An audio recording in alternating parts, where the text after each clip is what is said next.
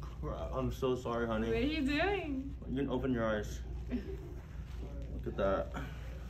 I'm showing my real face. What are you gonna show?